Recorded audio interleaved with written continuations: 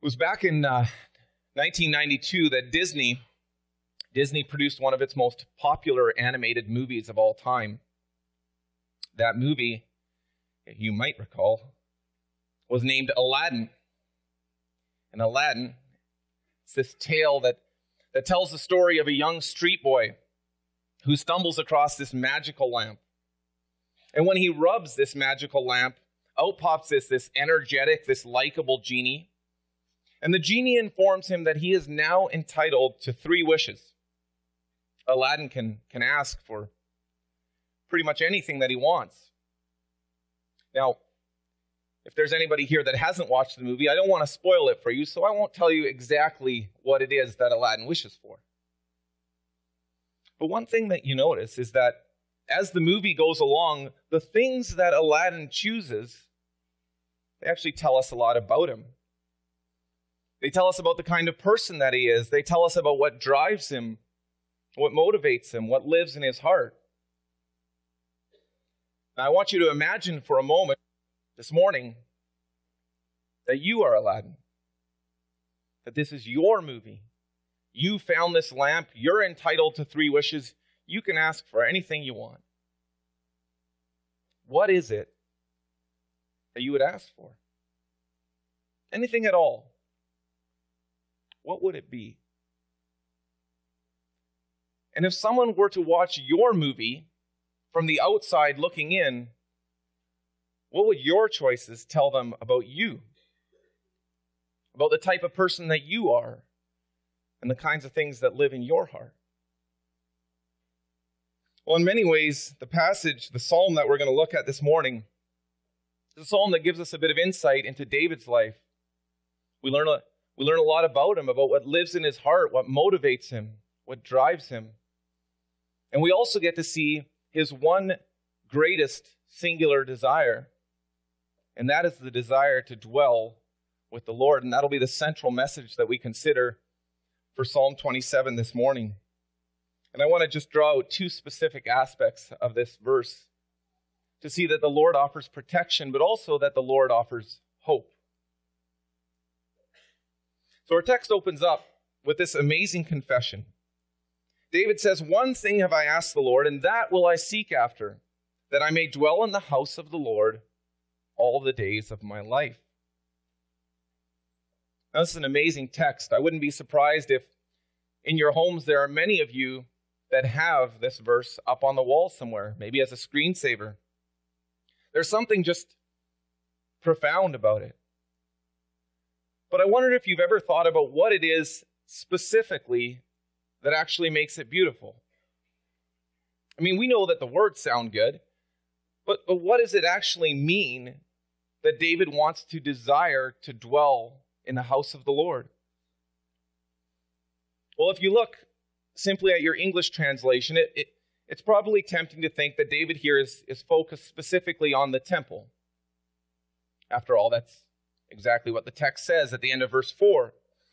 And so the sense that we might get from that perspective is that David has some type of a, a future wish that he's making. He's talking about some type of a future desire to dwell in the temple that his son Solomon would one day build.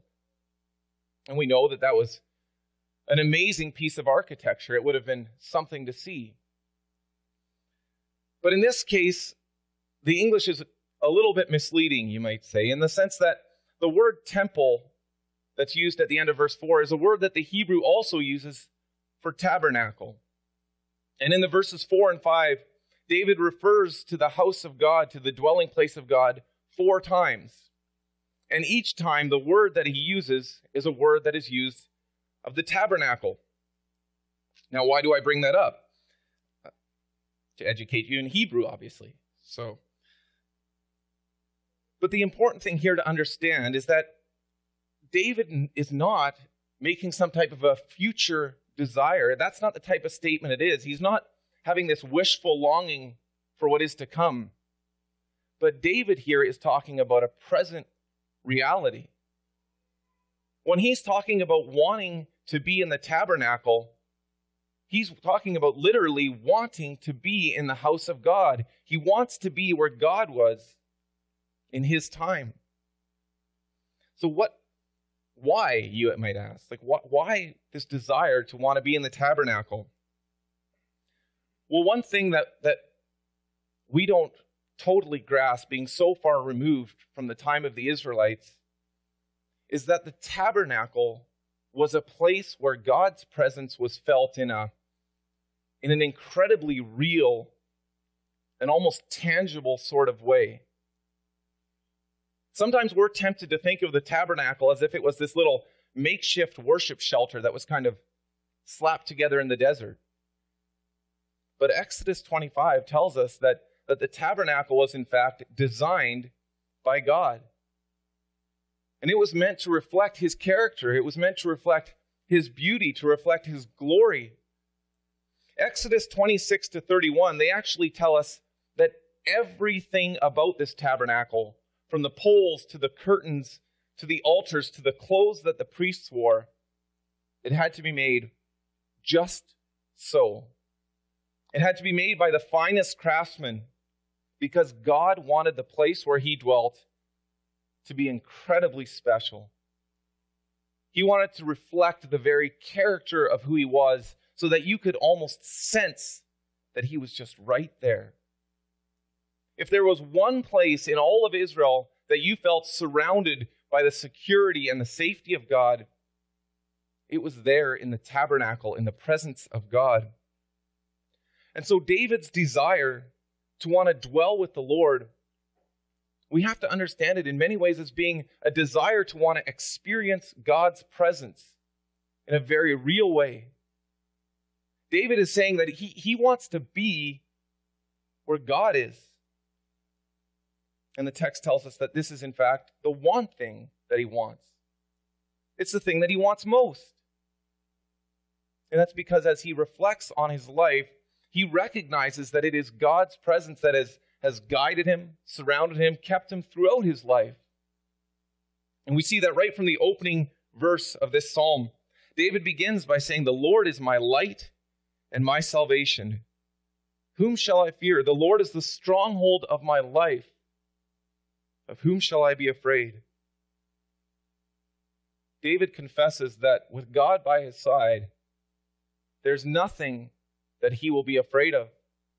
If you look at verse 2 and 3, he says, Even if enemies or armies or war come up against me, still I will say that I will be confident. David finds confidence in the presence and in the protection of God. Now, I wonder sometimes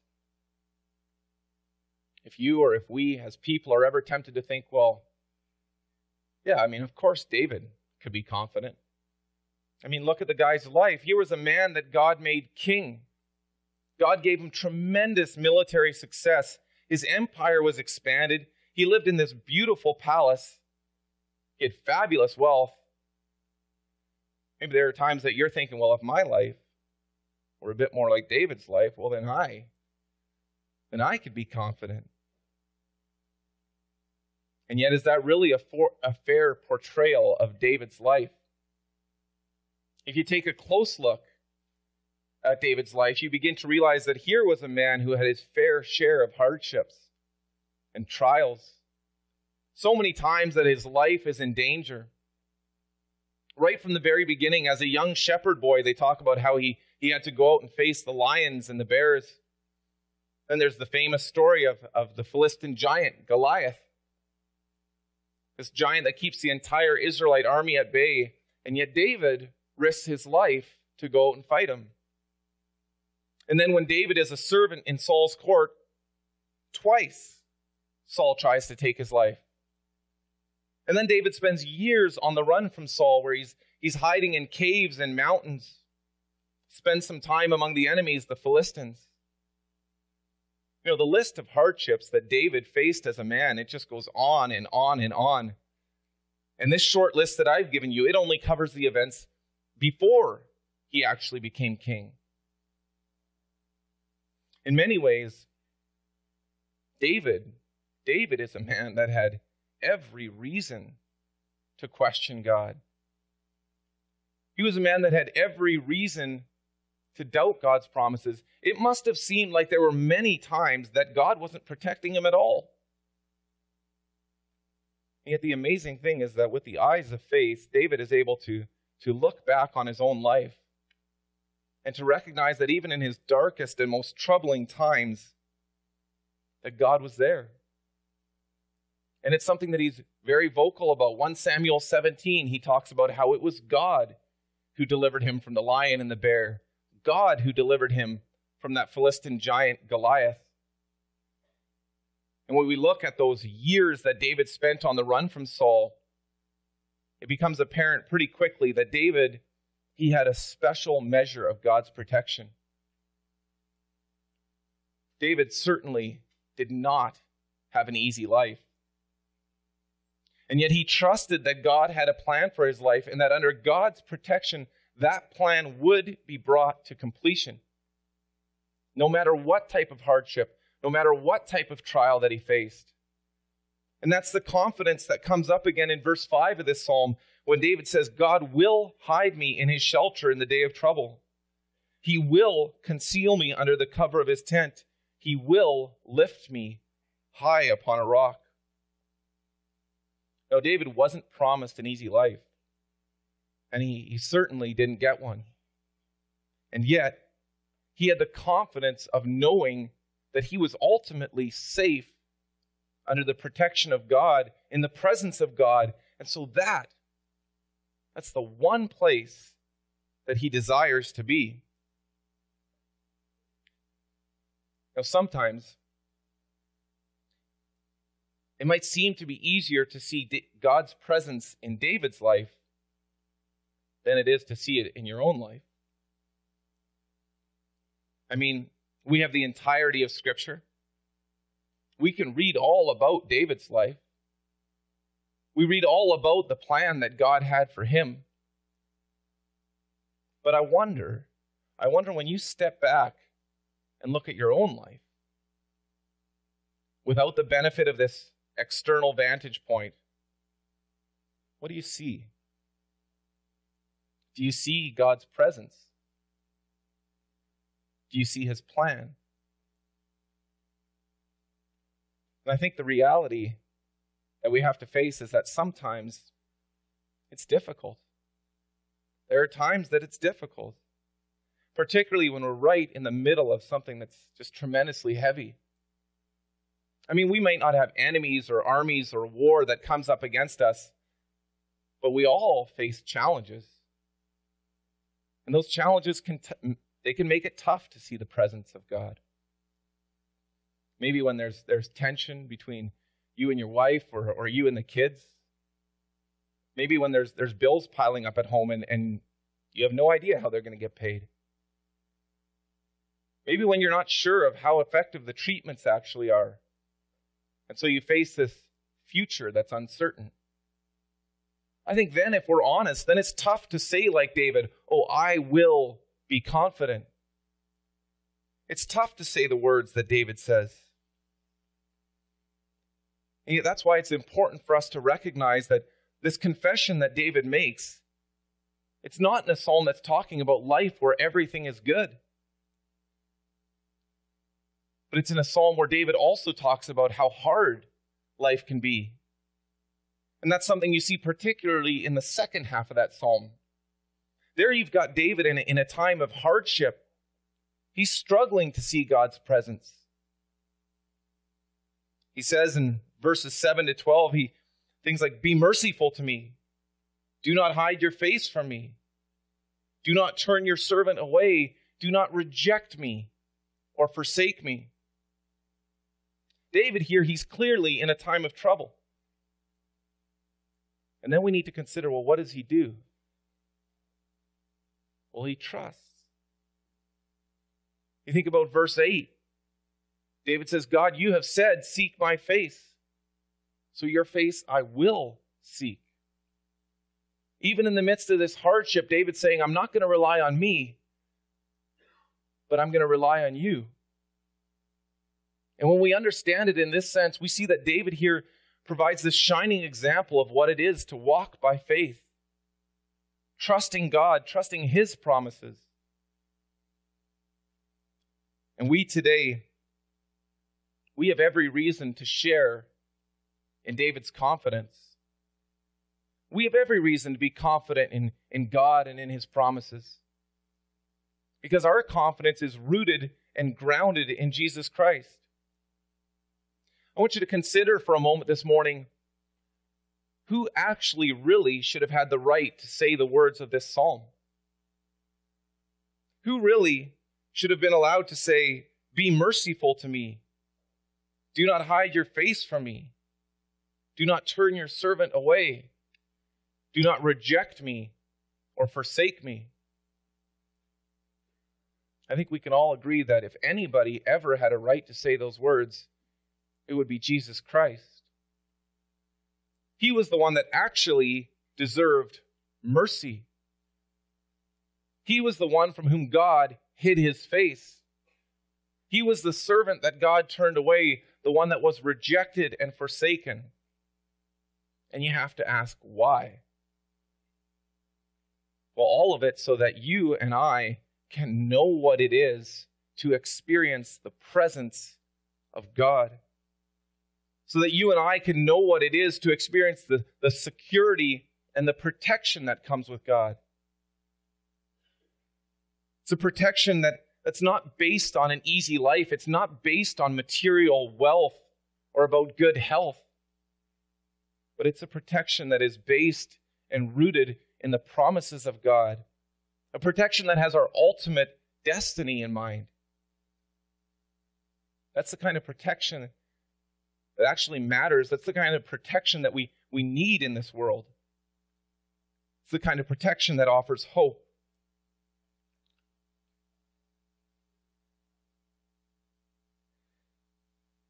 It's important to recognize as, as we consider the aspect of hope that the first half of, of this verse, verse 4, or sorry, the second half of verse 4 really builds upon the first. So, as we've talked about, in the first half, we see David expressing just his desire to be in the presence of God because he recognizes that God has offered him protection. And because of that protection and that faithfulness that he's experienced from God, he says in the second half that he wants to gaze upon the beauty of God. The one leads to the other. Now, again, you might ask, well, what does it actually mean to want to gaze upon the beauty of God? Well, perhaps, perhaps a looser English translation might, might say something like David wants to just reflect on the goodness of the Lord. David realizes this, this protection and this presence that he's had from God throughout his life. And it just caused him to be captivated, he's kind of mesmerized by the goodness of the Lord. The sense we get from what he's saying is that he's just overwhelmed. And so he expresses it with this love and this adoration by wanting to gaze upon the beauty of the Lord. He's amazed by who God is, by what God has done. And so, this adoration that David has, it causes him to want to know God more. It causes him to want to seek God more, to walk closer with him. Because we'd be missing the point of this psalm if we think that David here is just wanting to seek God because God gives protection. David's not just seeking God because of what he gets from God. No, David seeks God because he's amazed by God. So he wants to be guided by him. That's a place that he can find hope, something that he can hold on to. He wants to be guided by God. And we see that come through again in, in the actual, the last line of this verse where he says he just wants to inquire in the temple or he wants to inquire in the tabernacle. It's a theme that comes back again in verse 11 where he says, David, or David says, Teach me your ways, O Lord. Lead me on a level path. The larger picture we get here at the close of this verse is of David being humbled in the presence of God. He realizes that everything he is, everything he's become, is totally and completely the work of God. And so as he looks back on his life, he recognizes that, that even in his troubling and most difficult times, God was there. Because that's who God is, and, and it's a testament to his faithfulness. And this is a testament that David drives home in verse 10. It's something that doesn't come across as clearly in the English, but I'm not going to give you another Hebrew lesson. But let me just say that the sense that you get here from verse 10 is actually about David tossing out a hypothetical question. It's kind of like David saying, Even if my father and mother were to leave me, something that, that we agree is almost unthinkable in any culture, even if that were somehow hypothetically to happen, David said, God's love, God's faithfulness, that's something that will never be in doubt. We can't even wrap our minds around the depth of God's love and God's mercy. Instead, what we should do is, like David, actually take the time once in a while to step back, to actually admire the beauty of God, to inquire of Him, to reflect on who He is. And so maybe I can ask this morning do you see the beauty of God? Does it drive you to humility? Does it drive you to praise and to worship that God? I mean, why are you really here each Sunday? Do you love do you love to be here and to experience the presence of God? Do you recognize and see the beauty in that? It may be, it may well be that there, there are sorry, that there are those of you here this morning that are struggling to see the beauty of God. Perhaps it's the brokenness of this life that has clouded your vision. It could be that there is grief or that there's anger that has blocked your view. Perhaps you have a battle with demons like depression that seem to be choking out the light. Whatever the case may be, I think we have to be honest about the fact that there are times that we struggle to see the beauty of God. And as long as we're in this broken life, this will continue to be a challenge. But we can take comfort from the fact that we're not alone. Even the Old Testament saints, the saints in the New Testament, they had times that they struggled to see the presence of God. And I think the book of Psalms is, is a great example of that. Here you've got all these psalms by, by different people like David who are crying out. They're struggling to see the beauty of God, they're struggling to see his presence. But the hope that we cling to today is the same hope that they clung to. And that's the fact that God doesn't change. No, our world our world can make things cloudy from time to time. And there are times that the brokenness of this life does make it hard. But God's character and God's faithfulness and God's person, they remain the same. And so, if you are battling, and if, if things seem dark, allow me to urge you not to place your confidence in yourself, not to search for confidence in, in your own emotions, in, in those things that love to sow seeds of doubt. But find your confidence in the one who doesn't change. Because that ultimately is a place that you can find hope and security. And that's a place that David found hope and security throughout his life. That's really why David's one singular desire is all about wanting to be in the presence of the one who doesn't change. And God's word is clear He will be gracious to those who seek him. I'm reminded of the words of Proverbs 8, verse 17, where God says, I love those who love me, and those who seek me diligently, they find me. Those are the promises of God.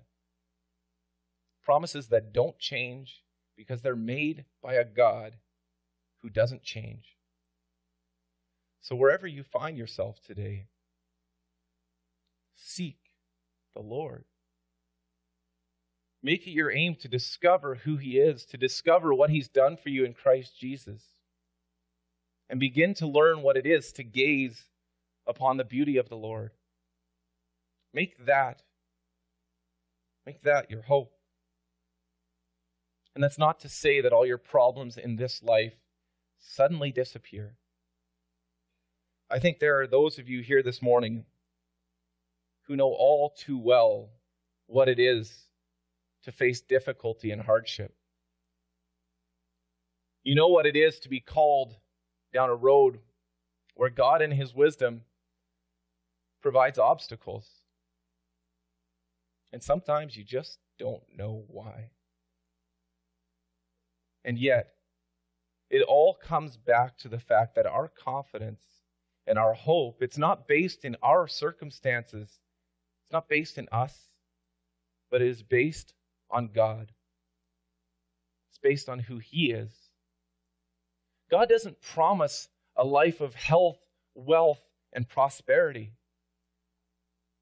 But this is what God does promise God promises that those who place their faith in Him, who trust Him, who love Him, who look to His Son, Jesus Christ, God promises that they will know what it is to dwell in the house of the Lord. God promises that a day is coming when they will know in the most unthinkable way what it is to gaze upon the beauty of the Lord and to live in his presence. Those, those are the promises of God. Those are promises that actually offer hope. And those are promises that allow us to say with David that I believe that I shall look upon the goodness of the Lord in the land of the living. Wait for the Lord.